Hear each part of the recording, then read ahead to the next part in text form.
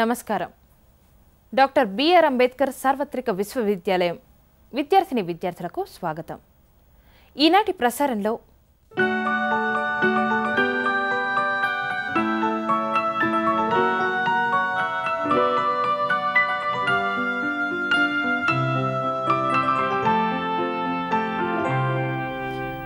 ఈనాటి ఆ, కార్యక్రమానికి అంశానికి వస్తే భారతదేశ చరిత్ర అంటే మామూలుగా నిజంగా చరిత్రను చూస్తే రెండు అర్థాల్లో దీన్ని ఉపయోగిస్తాం. చరిత్ర అనే పదాన్ని. అంటే చరిత్రలో జరిగిన విషయాలని గురించి లేకపోతే చరిత్ర జరిగిన రచనా వ్యాసంగం గురించి. సాధారణంగా మనం చరిత్రలో విషయాలనే చదువుతూ ఉంటాం. కానీ ఈ చరిత్ర వెనుక అంటే ఈ చరిత్ర విషయాల్లో వెనుక ఆ చరిత్రకారుని మనోభావాలేంటి? ఈ చరిత్ర ఏ విధంగా రాయబడింది? దీన్ని ప్రేరేపించిన అంశాలేంటి? ఈ విషయాల్ని చాలా తక్కువగా చదువుతాం. కానీ చరిత్ర పరిశోధనకి ఈ అంశం కూడా చాలా తోడ్పడుతుంది. చాలా ముఖ్యమైనదని కూడా చెప్పచ్చు.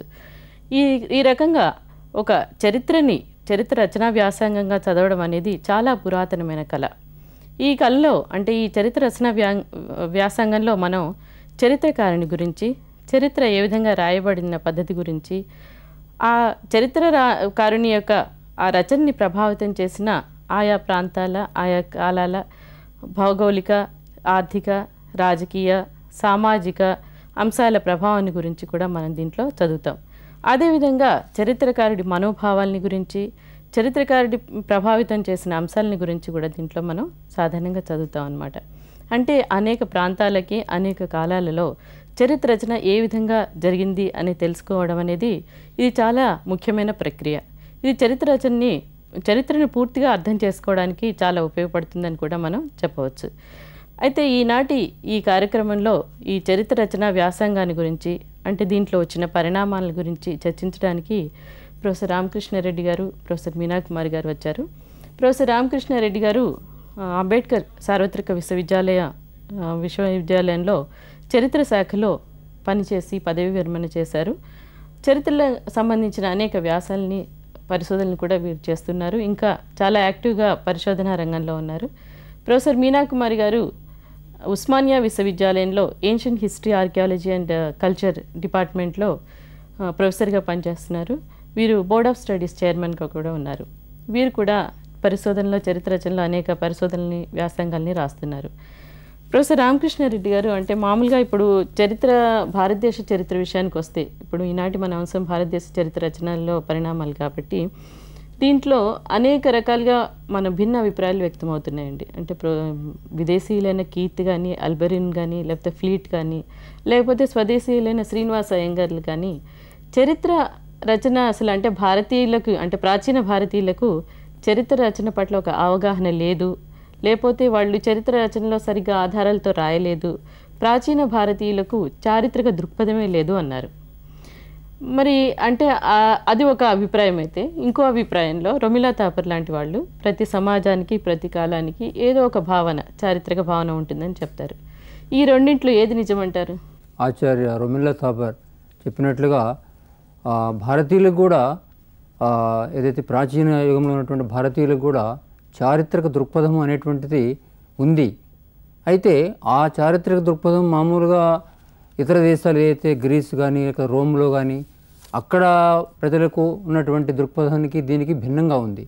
అయితే ఇక్కడ ఏదైతే ఇతిహాస పురాణములు లో చెప్పబడినటువంటి విషయాల్ని కేంద్రీకృతం చేసుకొని ఇక్కడి ప్రజల యొక్క చారిత్రక దృక్పథము ప్రధానంగా ఆధారపడి ఉంది. అయితే ఆ తర్వాత మనం చూసినట్లయితే ఈ ఇతిహాస పురాణ సంప్రదాయం దాటిన తర్వాత ఏదైతే మామూలుగా ఈ రాజవంశాల యొక్క పాలన ప్రారంభమైన తర్వాత శాసనములు వచ్చినాయి. అశోకుని దగ్గర నుంచి కూడా శాసనం వచ్చినాయి. ఆ శాసనములు రచించినటువంటి కవులు తర్వాత ఆ తర్వాత రాజులు వాళ్ళ యొక్క ఆస్థానంలో కవులను పోషించారు. వాళ్ళు కూడా ఆనాటి ఏదైతే చక్రవర్తుల యొక్క జీవిత చరిత్రని ఆనాడు జరిగినటువంటి విషయాలని రాశారు. కాబట్టి ఆ విధంగా ప్రాచీన భారతీయులకు కూడా చారిత్రకమైనటువంటిది ఉంది. అయితే దాన్ని మనము ఏదైతే ఈ యొక్క ఆనాడు వెలిసినటువంటి సారస్వత ఆధారాలు ఏవైతున్నాయో వాటిని ఆధారంగా చేసుకొని మనం ప్రధానంగా దీన్ని పరిశీలన చేయాల్సి ఉంటుంది. మరి ఈ నేపథ్యంలో ఇతిహాస పురాణ సాంప్రదాయం అన్నారు. అంటే ఇవి పురాణాలు లేకపోతే కథలకు సంబంధించింది కదా. మరి ఇవి చరిత్ర రచనకి ఏ విధంగా తోడ్పడ్డాయి అంటారు? మొదటి నుంచి కూడా మన సాంప్రదాయాన్ని అన్నప్పుడు మనం వేదాలను అంటాము వాటి గురించి అంటాము తర్వాత మన ఇతిహాసాలు రామాయణము మహాభారతం వీటి గురించి కూడా మనం గొప్పగా చెప్పుకోవడం జరుగుతుంది. కారణం ఊరికే ఒక ఏదో మతతత్వాన్ని ప్రబోధించేవే కాకుండా ఇవి ఆనాటి కాల పరిస్థితుల్ని సంఘం ఎలా ఉంది అని కూడా అవి చెప్తున్నాయి. అందుకే బ్రాహ్మణాలు కానివ్వండి ఉపనిషత్తుల్లో కానివ్వండి మనకు చరిత్ర అంశాలు తప్పకుండా క్రోడీకరింపబడి ఉన్నాయి. అలాగే ఇప్పుడు మనం పురాణము అనగానే పురాతనం అని అర్థం ఒక విధంగా. అలాగే ఇతిహాసము ఇవి ఇలాంటివి తీసుకున్నప్పుడు దానిలో మూడు పార్ట్లుగా క్లియర్గా మనకు విభజన కనిపిస్తూనే ఉంది.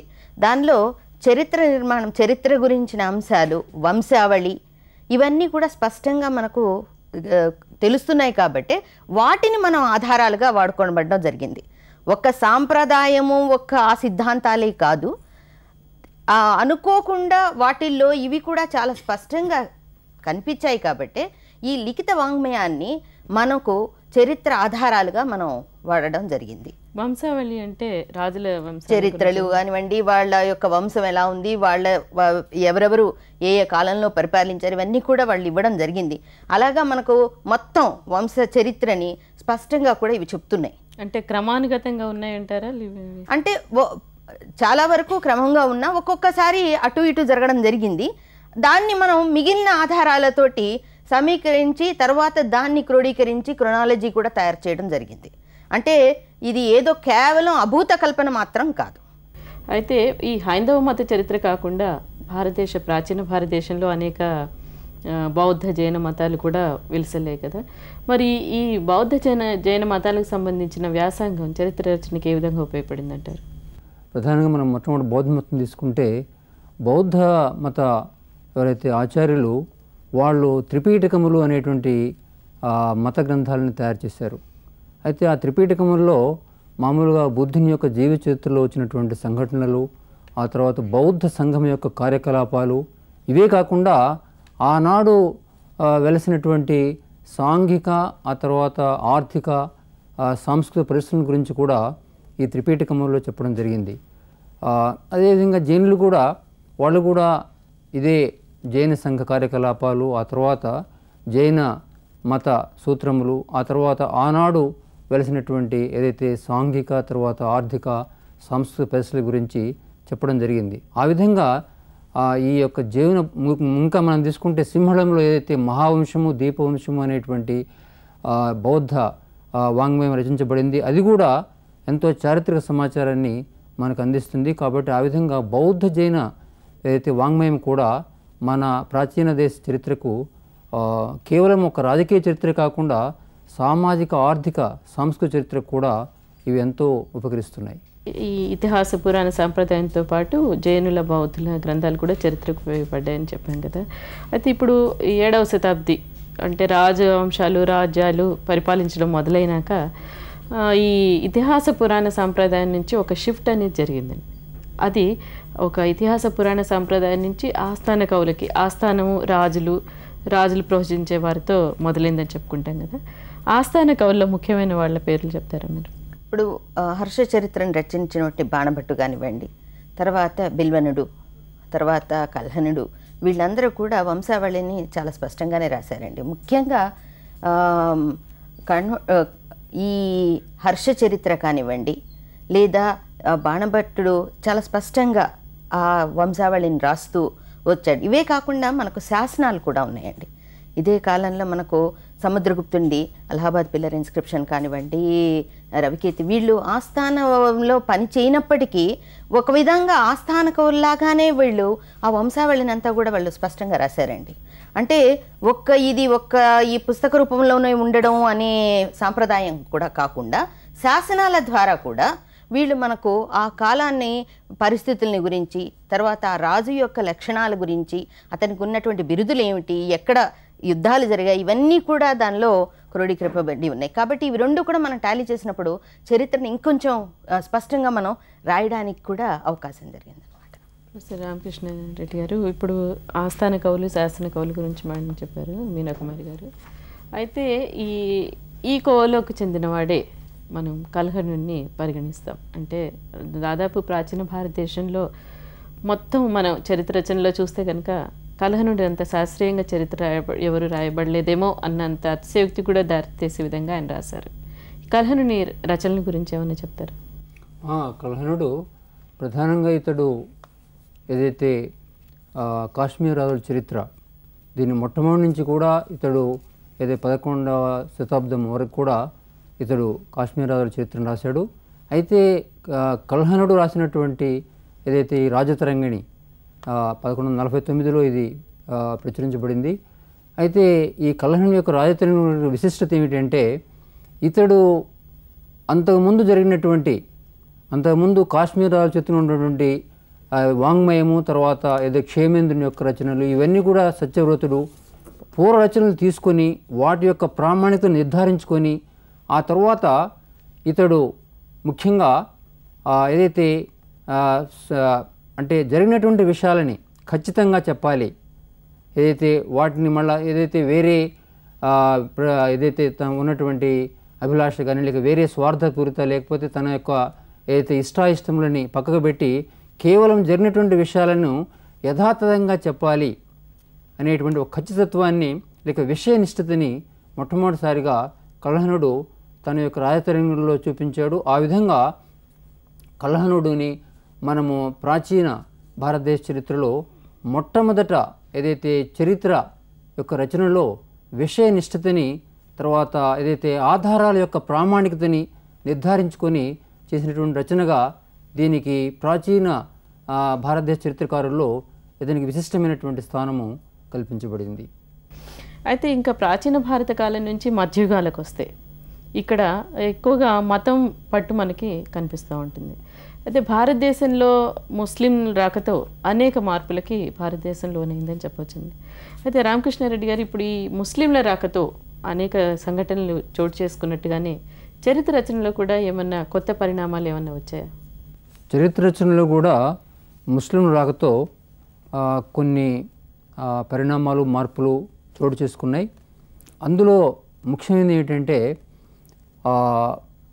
ఈ యొక్క చాలామంది ఏదైతే ముస్లిం చరిత్రకారులు వాళ్ళు సమకాలీన ఆ విషయాలని వాళ్ళు చూడటము లేకపోతే వాళ్ళు వేరే వాళ్ళకున్నటువంటి వాళ్ళకు ఉన్నటువంటి ఏదైతే అఫీషియల్ రికార్డ్స్ కానీ వాటిని ఆధారంగా చేసుకొని ఆ తర్వాత వేరే కొంతమంది ఆనాడు ఉన్నటువంటి వాళ్ళని వాళ్ళ ద్వారా తెలుసుకొని ఆ విధంగా వీళ్ళు అంటే వీళ్ళకి ఆధారాలు విశేషంగా ఉన్నాయి.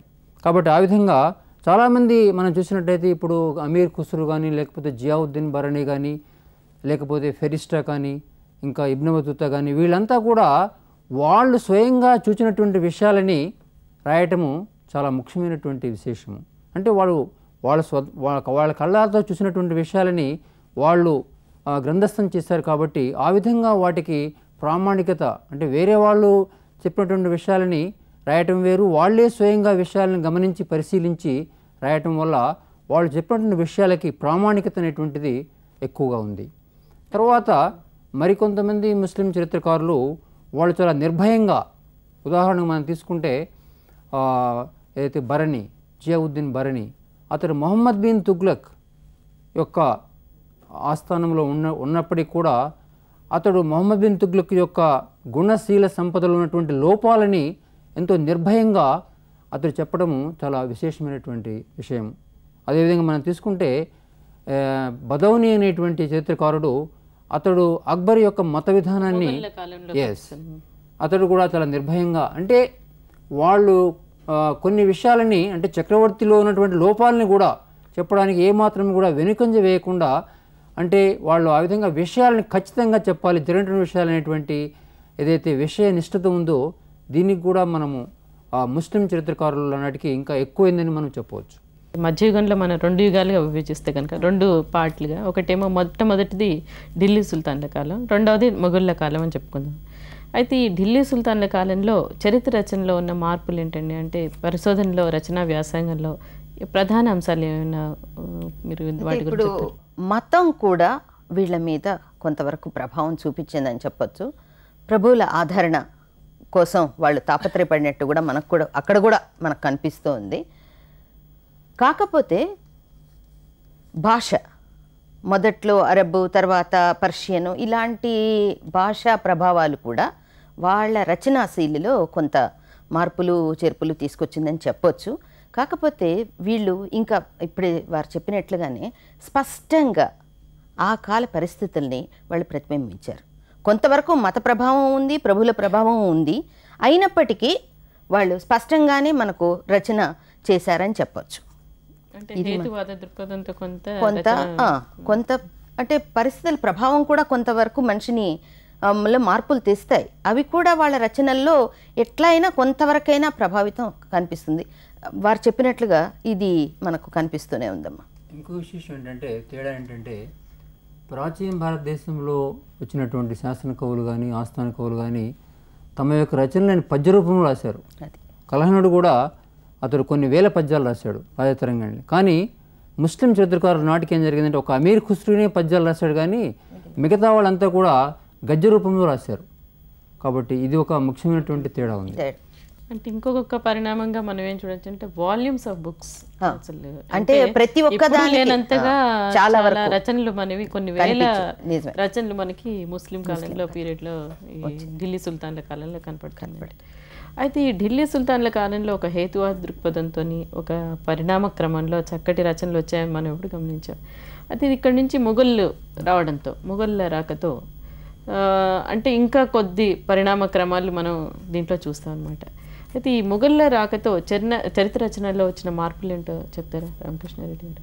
మొఘల్ యుగానికి వచ్చినట్లయితే మొఘల్ యుగంలో మొఘల్ యుగంలో ప్రధానంగా మనము ఈ చరిత్రకారులు వాళ్ళు మామూలుగా అంటే ఆయా రాజుల యొక్క మొఘల్ చక్రవర్తుల ఆస్థానంలో ఉండి వాళ్ళు ఆ ఆనాటి అంటే చక్రవర్తుల యొక్క చరిత్రని రాయటం జరిగింది. అయితే వీళ్ళు ముస్లిం చరిత్రకారుల కంటే కూడా ఇంకా కొన్ని అడుగులు ముందుకు వెళ్ళి వీళ్ళు మామూలుగా విషయ సేకరణ విషయంలో కానీ లేకపోతే విషయాల్ని విపులీకరించడంలో కానీ ఇంకా వాళ్ళకంటే కూడా ఇంకా హెచ్చు మోతాదులో ప్రమాణంలో వీళ్ళు రచనలు చేశారు.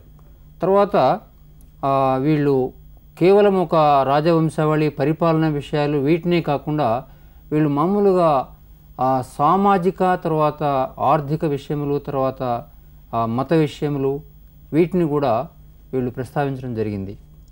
తర్వాత వీళ్ళు మనకు ఇంకా ఏంటంటే ఆనాడు ఈ యొక్క ఏదైతే చక్రవర్తుల యొక్క జీవిత చరిత్రలు ముఖ్యంగా మనం చూస్తే ఇంకోటి విశేషం ఏంటంటే కేవలం మొఘల్ చక్రవర్తులు వాళ్ళు అనేక మంది కవులని తర్వాత చ వాళ్ళ వాళ్ళని ప్రోత్సహించి ఆనాటి చరిత్రను రాయించడమే కాకుండా కొంతమంది మొఘల్ చక్రవర్తులు స్వయంగా వాళ్ళే తమ యొక్క స్వీయ చరిత్రను రాయటము వాటిని కూడా ఎంతో వాళ్ళు నిస్సందేహంగా తర్వాత ఎన్నో విషయాలని చాలా నిర్భయంగా నిస్సంకోచంగా చెప్పడము మరొక విశేషం. అంటే ఇప్పుడు ఈ మొగుళ్ళ కాలంలో రెండు విశేషాలు మనం గమనిస్తాం. ఒకటి నిర్భీతితోని నిర్భయంగా రాయడం ఒకటి. ఇంకోటి చరిత్రకారులు కూడా అంటే చరిత్రకారులతో పాటు చక్రవర్తులు కూడా కాంట్రిబ్యూట్ చేయడం ఒకటి.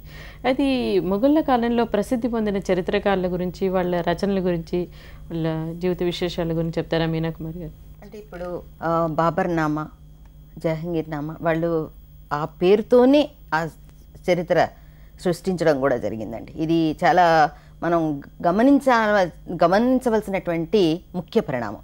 ఇవే కాకుండా మాన్యువల్స్ జీవిత చరిత్రలు పుస్తక రూపంలోనూ దినచర్యలు కూడా.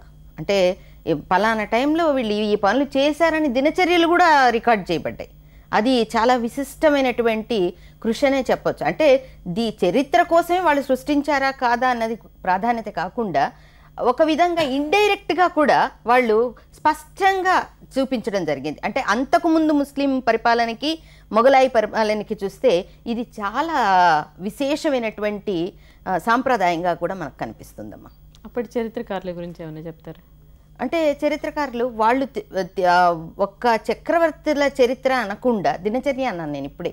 దినచర్యల్లో వాళ్ళు ఎప్పుడు పబ్లిక్ని కలిసేవాళ్ళు వాళ్ళు ఏం నివేదించుకునే వాళ్ళు కూడా record.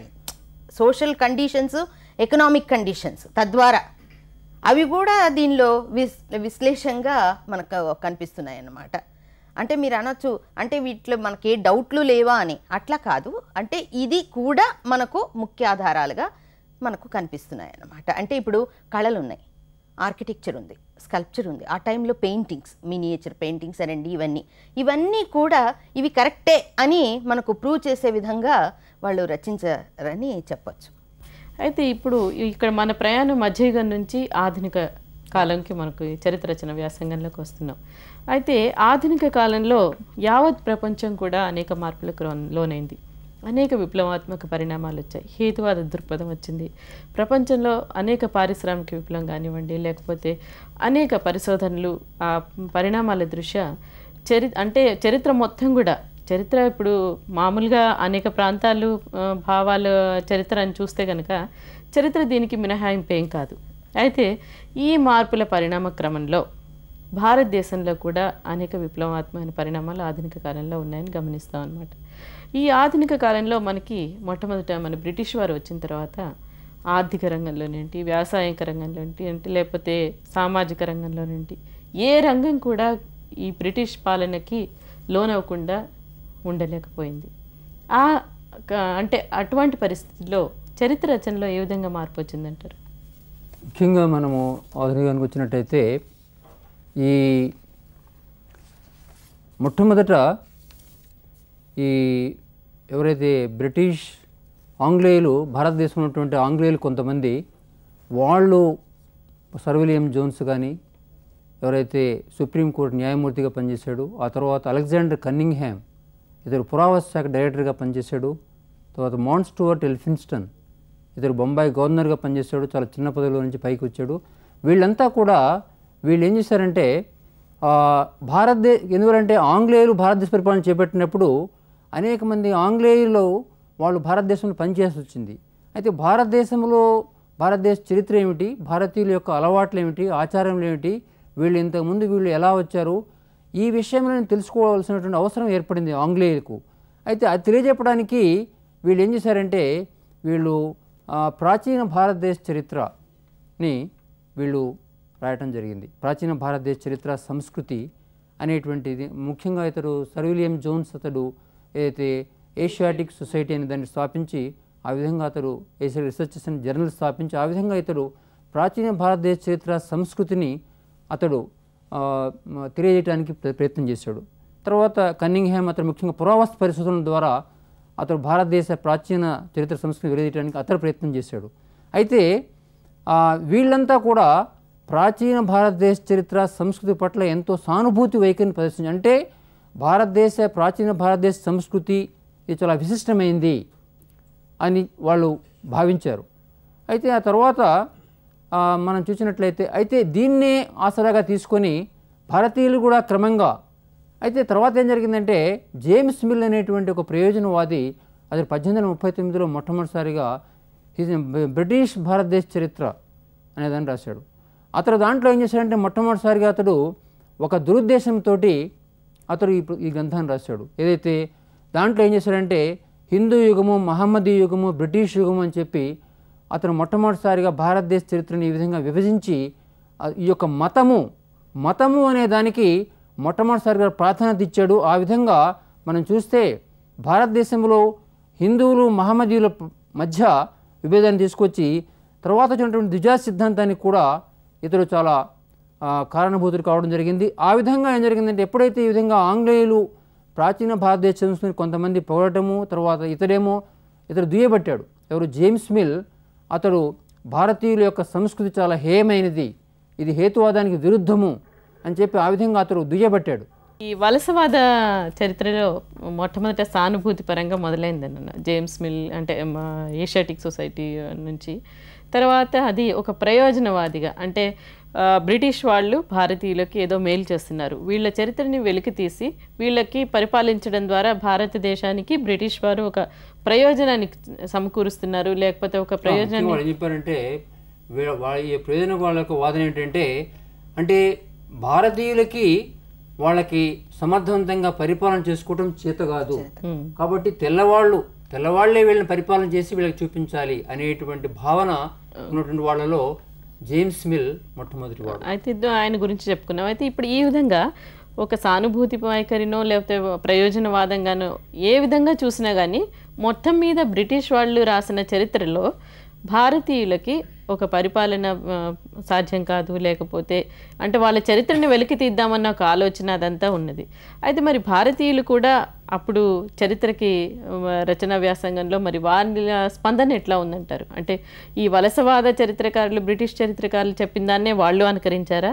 లేకపోతే వాళ్ళకంటూ ఒక ప్రత్యేక అభిప్రాయం ఏమైనా ఉందా మీనాకుమార్ గారు? అంటే ఇప్పుడు మొదట వీళ్ళ ప్రభావం ఇలా ఉంది అని తెలుసుకున్న తర్వాత మనని మనం ఎందుకు సంస్కరించుకోకూడదు అన్న తరహాలో రాజా రామ్మోహన్ రాయ్ గారు కానీ వీళ్ళందరూ కూడా ఒక విధంగా ప్రజల మీద ప్రభావం చూపించారండి.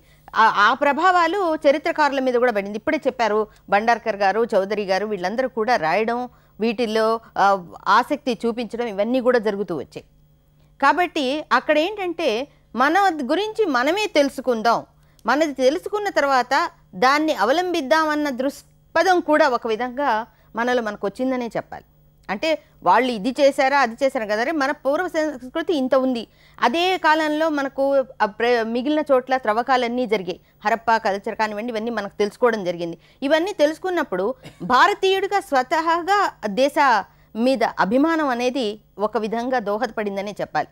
అయితే ఇప్పటివరకు మనం ఈ ఇప్పుడు మన ఈ అంశాన్ని గమనిస్తే చరిత్ర అనేది గతం వర్తమానం భవిష్యత్ కాలాలకి అన్వయిస్తూ చేస్తే ప్రవహించే ఒక అనంతమైన కాలవాహిని అని మనం చెప్పచ్చు.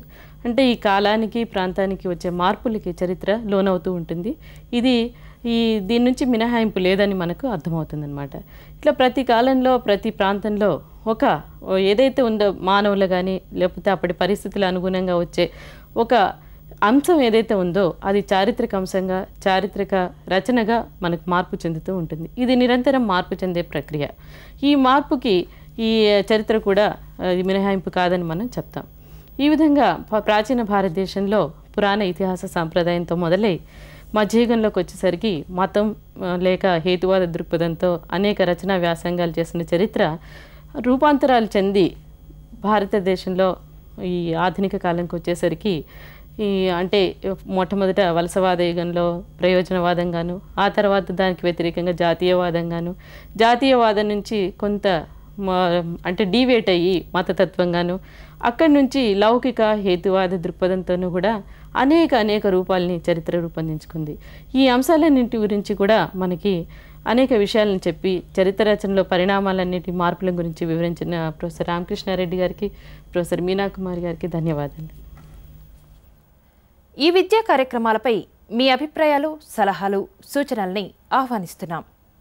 మా చిరునామా డైరెక్టర్ దృశ్యశ్రవణ కార్యక్రమ రూపకల్పన పరిశోధనా కేంద్రం డాక్టర్ బిఆర్ అంబేద్కర్ సార్వత్రిక విశ్వవిద్యాలయం రోడ్ నంబర్ నలభై ఆరు జూబ్లీహిల్స్ హైదరాబాద్ ఐదు సున్నా సున్నా సున్నా మూడు మూడు.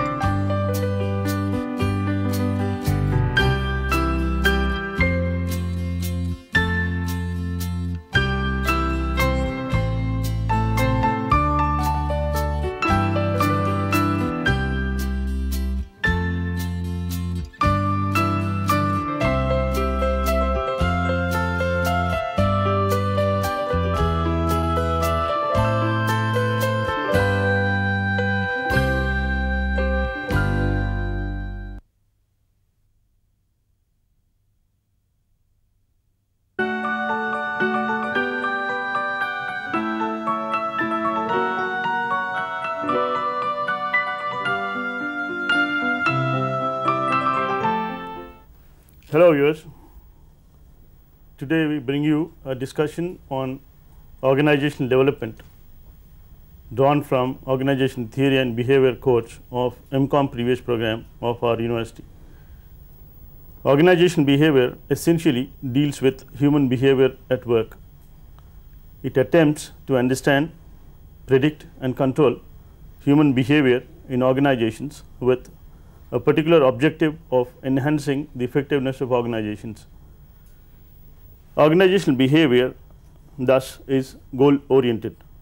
In fact, organization behavior is a response to a stimulus and this stimulus could be provided by environment, task, structure, technology, strategy, etc.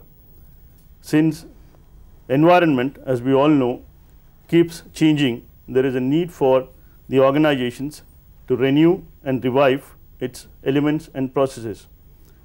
In this context, organization requires some kind of an effort which goes in the name of organizational development and uh, uh, this becomes really important to understand what exactly is organizational development, what are its characteristic features, what are the advantages that might accrue to the members of the organization and an organization as a whole and the, the, the kind of processes that are involved in organizational development.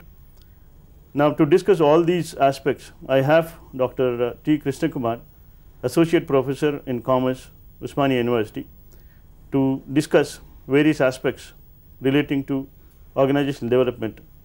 Now, uh, may I request Dr. Um, Krishna Would you uh, actually uh, explain us the need for understanding or uh, studying organizational development as such? Wha- what is the need for understanding organizational development? Uh, dear viewers, Dr. Sudhakar was mentioning that OB has come into existence in order to understand, predict and control the behavior of people to enhance organizational effectiveness. We all know, you must have gone through the previous lessons that OB it is a goal oriented subject. Now, maybe we might have framed our goals way back at 20 years back or maybe 10 years back. What we have to understand in the present circumstances, these goals might have become outdated due to various reasons. Therefore, there is a need to renew, revive our organization roles, goals, processes and several things. And in our, an organization development is such a process which helps us to renew, revive our organizations. And before getting into what is this organization development, let us spend some time to understand the need for organization development. We are going to list out the need for organization development into these categories. One is changing environment, survival, adaptability, training for change and making the organization culture more responsive. Let us spend two minutes to discuss these things. We all know that change is permanent, change changes and change changes in a different way and the environment is changing like anything. We talk about whenever we talk about environment all those factors, all those things which influence, which impinge on our performance we call it as the environment and sometimes we too will have impact on the environment we know that. But here in this case of changing environment we can list out a few things like social environment, cultural environment, legal environment, technological environment and uh, so on and so forth. And these environments they are changing like anything and there is a need for us to adapt ourselves to this changing environment and OD helps us in this process.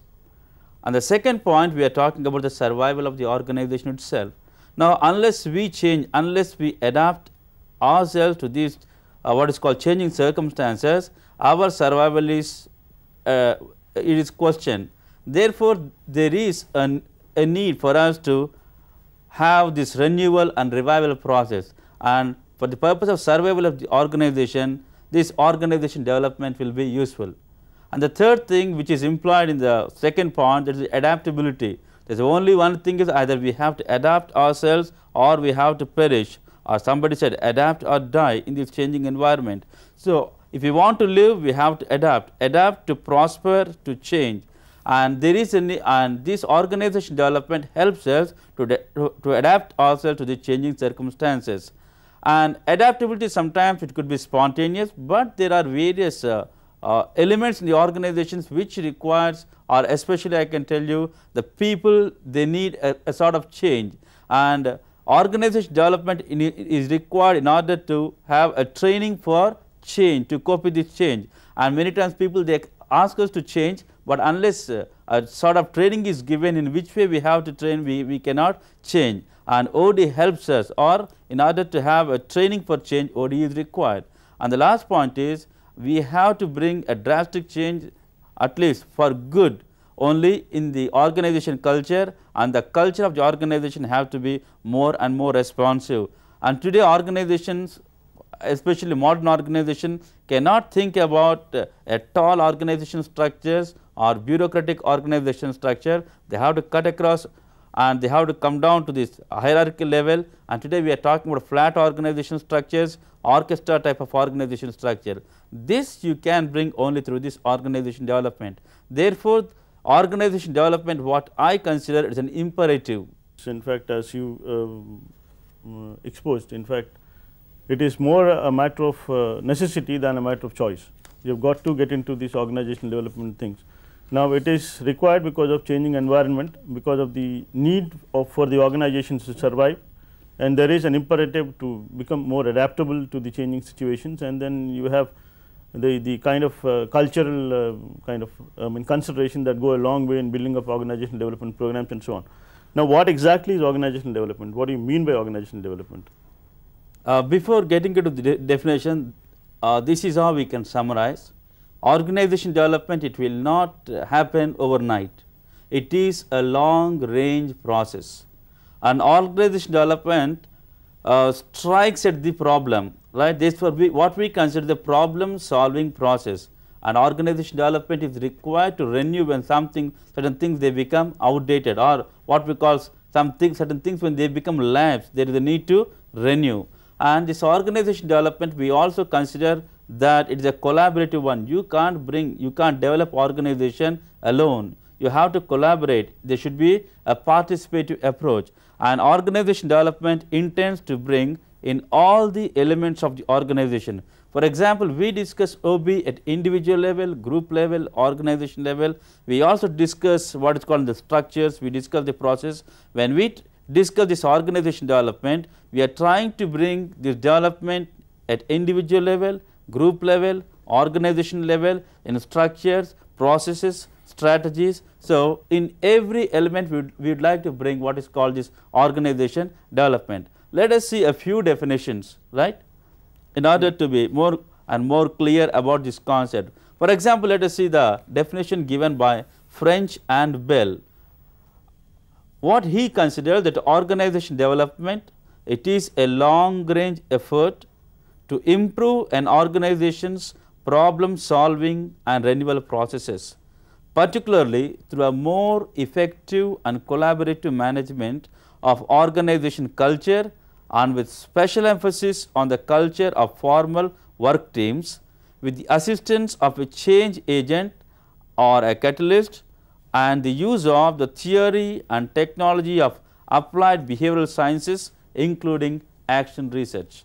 Uh, we would like to actually get into the values that are embedded into OD. What are the different values that are embedded into organizational development program? Now, would Uh, you like to explain that? Yeah, yeah. Now, we know organization development, the important thing it is people, right?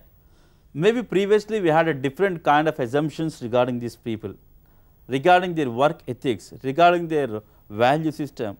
But organization development is, it has got, it has built on certain values. The first thing I can tell you is, it has respect for people. That means it considers people, uh, they are willing to shoulder the responsibility. In other words, it has a theory why, right? I think people you must have discussed what is theory why. You must have gone through your lessons. Theory why it, it considers that people they are coming, they'll come forward, they're willing to shoulder the responsibility, they're they are committed to the organization uh, objectives. It is up to the management to see to get what is called commitment to the objectives of the organizations. Once they do that, automatically they will give their best to the organization. Therefore, the first value of this uh, OD is it has got what is called respect for people, respect for uh, people's dignity and other things. And the second thing is it has got what is called trust and support. It, it believes in openness, it believes in uh, respect, it believes in support, it, it, it believes I can tell you it believes almost all the people, right? It considers people, they are the important thing. And the third thing what we are talking about power equalization, hitherto we might, we might have been emphasizing more and more on what is called power distance, you and me, right? Whereas in ODE, it talks about what is called a flat type of organization structure, where what is called work values, human dignity, they are given more importance rather than maintaining the distance, maintaining the power and these things. And the next uh, value of this OD is confrontation. Many times when, whenever there is a problem, people they want to hide the problem, they want to hush up the problem, they do not want to bring the problem to the forefront. But organization be- uh, development believes that when there is a problem, you have to bring out the problem, you have to confront the problem and you should make an effort to what is called solve the problem rather than simply hushing up the problem. And the last thing is it believes in people that is what we call participation. It believes in people, it believes in empowering people, it believes their cooperation, it believes that organization development will not happen just if uh, the top management agrees, top management support is required. Apart from top management, from top to bottom level, everyone has to contribute his might to bring a change in the organization. In other words, there is empowerment, participation. This is a very important uh, uh, value of this organization development.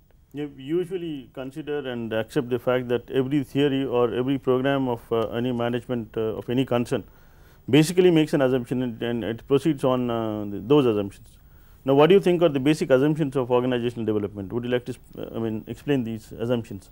uh, unless we know these assumptions, unless we know the, after some time we will be discussing the limitations of OD, I think we can't understand the usefulness of this OD. The first assumption of this OD is work habits are a responsive to work environment. You may think there are people who are not willing to work.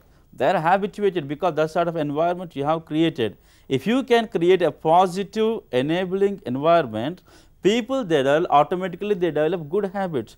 If you can tell people they can do the work, they will do the work. And when you say people you can't do the work, they do not do the work. When you when you start policing, then they, they will also behave in the same way. On the other hand, when you try to create auto motivation, auto control, they try to give their best to the organization. This is the first assumption that the work habits that are there in the organization is responsive to the work environment that you have or we have created in the organization. And the second thing is many times we are under the impression that only organization goals are very very important but not the individual goals but what we believe individuals goals individual aspirations they are very important even to the organization so therefore what uh, we feel that there is a need to bring a sort of fusion between individual goals and organization goals. This is what we call integration of individual goals and organization goals. Unless you bring that kind of fusion, it is not possible uh, to lead to higher productivity or what we productivity happens to be one of the elements of effectiveness. So, unless you bring this sort of fusion between individual goals and organization goals, you can't think about being effective in the organization.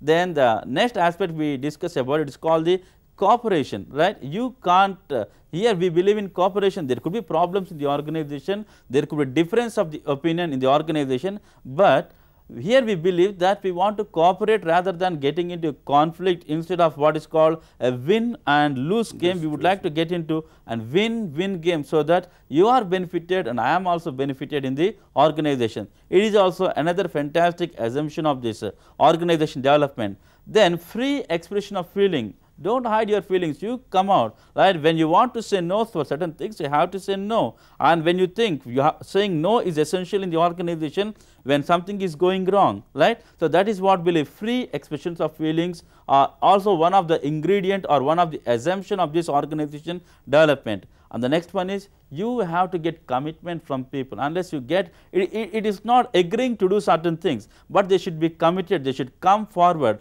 So Wodi believes that commitment is also yet another important assumption. Then the last one is OD is reinforced by total HR system. Remember you can't have a separate uh, HR system or you can't have what is called an organization system. Your entire organization system uh, becomes the main point in that one HR happens to be one of the subsystems and within the HR subsystem OD happens to be at another subsystem. In other words there, there is a need to have a congruence between what is called OD, HR system and the total organization Organization system. development. Now, let us discuss the characteristics of organization development. As I told you, organization development, it is a planned change, it is not something which is taken spontaneously. You plan for this development, you, pra- you plan for renewal and revival process. The second thing what we are discussing, it encompasses the whole organization, individual level, group level, organization level, in all kinds of what is called subsystems, what we call uh, technical, legal, cultural, political, goal systems, management value system, and everything we would like to bring this sort of organization development. Then this change, it is not a short term, but what is called a long range change. Now, it will not happen overnight, it will not happen within a month, maybe sometimes it has to take uh, maybe more than a year you have to take it up. Then as I told you, OD has got a systems orientation, it considers about inputs, conversion process and output in the form of what is called commitment to the organization, then what with, whatever we discussed in the organizational effectiveness like uh, job satisfaction, less absenteeism, profitability. So, these things what we consider them as the output and then we have a feedback that means it has got a complete system orientation. Yet another important thing I think we may have to spend one minute time on this a change agent, change agent. Many times organization development uh, considers that there is a need to bring an outside person to bring uh, what's called change in the organization. And the person who initiates the change and who who who sees that there brings a change in the organization and the change crystallizes the organization he is called as the change Change agent. agent this change agents uh, tries to bring change in all the aspects of the organization like task structure technology people strategy and these things he tries to bring the change. Then just now we discussed that another characteristic is it is the problem solving. You are you do not want to hide the problem. Rather than you want to solve the you want to confront the problem you want to solve the problem uh, then the next aspect we will be discussing is called experiential learning. We have got OD techniques like sensitivity training, process consultation, where the people who, who involve themselves in this change process. In other words, the kind of learning they are getting, it is called ex the experience and they learn. That is the reason we call it as an experiential learning. And the next aspect is called collaborative management, where management people at all level they are coming together, they collaborate in order to uh, achieve the main purpose of the organization development. The next point is group processes and team building. It is not simply the individual, it considers the group and it is also a, a teamwork therefore it is called uh, team building we consider. Then we have to bring organization change not only in the what is called technological aspect, there is a uh, need to bring a change even the culture of the organization, right. Uh, the artifact, the mode, the way you do things in the organization. Then at another important thing we considered the feedback that we have in the organization. Without feedback you can't proceed further. Therefore, feedback, feedback also is another important aspect. Then the last important uh, aspect of characteristics of this organization development is it is situational and contingency oriented. See this aspect many times we tend to forget. What is uh, clicking in USA we think it definitely will click in India or what clicks in Japan will click in Indian organization. Sometimes it may not happen because of uh, I can tell you uh, because of cultural aspects and other things. Therefore, OD considers that OD programs are situational and contingency. The certain things they happen, they do not happen. So, the, these things are it adapts what is called a contingency approach. Okay. These are the main characteristics of organization development. Go through the benefits and then uh, the limitations of organizational development. Okay. Uh, the benefits of organization development, the first thing we can consider uh, opportunities to function as human. E- everyone uh, feels like, right, function as a human, not like any other factors of production. Many times people they are under the impression human being is one of the factors, Factors of of production. In other words, they had an approach that is what is called a commodity approach. So, if we adopt this what is called organization development program, people they get uh, an opportunity to function as human not as a commodity. Then the second important benefit is there are opportunities to develop to his full potential. Just now we were discussing that human beings they have their own aspirations, goals and other things. By adopting this organization development, uh, you are giving opportunities to people to develop to their full potential. Then the next important point is there is a need to create enabling exciting environment. This is possible through organization development. That is what we call it creates exciting and challenging environment. Then uh, the next benefit that accrues because of this organization development is the participation. Just now we are discussing without the participation of people fact, at law is one of level it is not important possible. values. it has got participation. Then the last one is each human being is treated as an individual. We are unique we are god's creation. That is what we believe. Therefore we are treated uh, as a human being as a separate being. So these are the uh, main benefits of this organization development. But one has to remember organization development is not a magic wand. It has got its own limitations. I think in the definition which we have seen given by the French and Bell, we have seen very clearly organ organization development borrows heavily from behavioral sciences.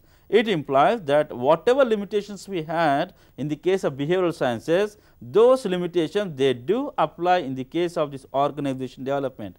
Then the limitations of individual see there may be a person who is highly motivated and he wants to bring a complete renewal process revival process in the organization suddenly that person might have been posted somewhere uh, that means immediately the processes the things that are taking up in the organization they may come to standstill so what we have to understand you may be highly motivated your motivation level your personality definitely it is going to have impact on this organization development program then the third limitation what we can consider limitations of the situation. See a program may click in one particular situation because of various reasons it may not click in another situation. actually request you to uh, explain the process of OD and the OD interventions. What exactly are OD interventions?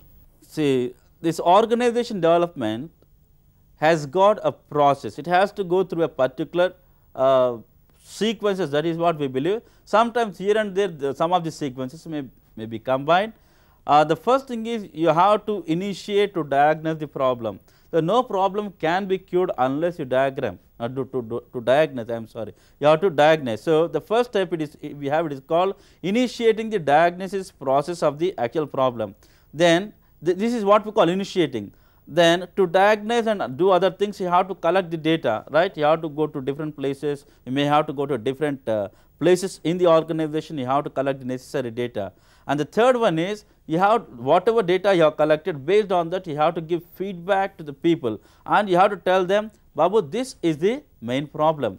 And the fourth one is you have to plan a strategy for the change. What kind of change what kind of strategy we have to adopt. And the next thing we, we have to adapt what is called one of the inter there are so many interventions that are available.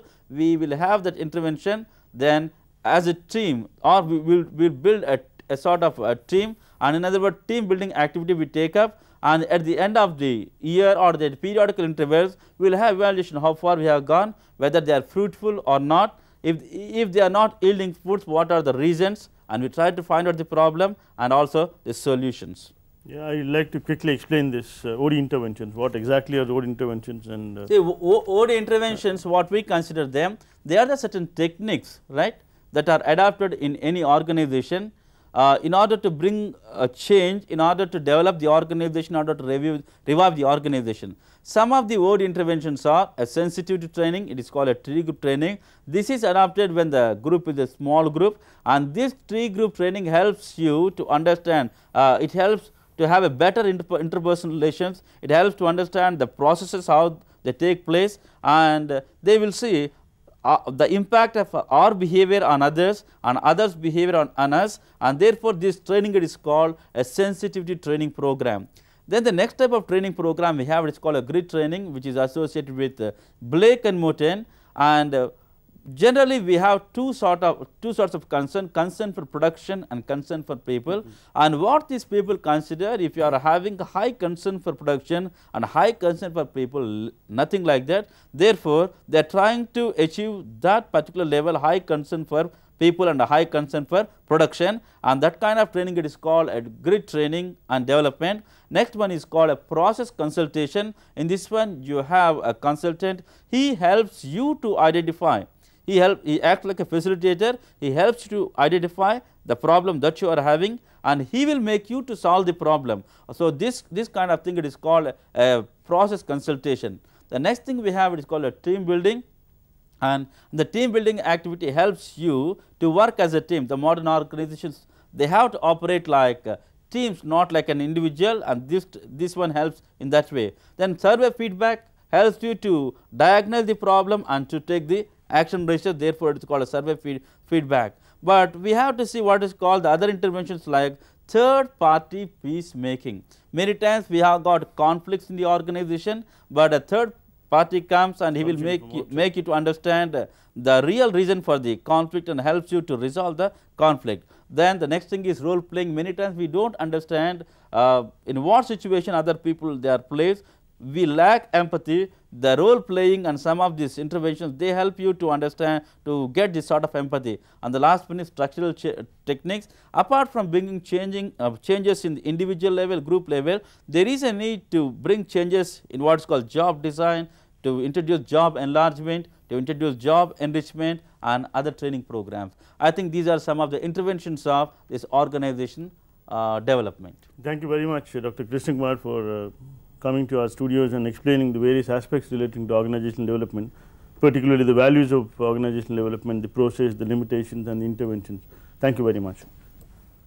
మీ సందేహాలు సూచనలు అభిప్రాయాలు మాకు తెలియచేయండి మా చిరునామా director audio visual production and research centre doctor B R Ambedkar open university professor G Ramreddy మార్ road number forty six Jubilee Hills. Hyderabad ఐదు సున్నా సున్నా సున్నా మూడు మూడు.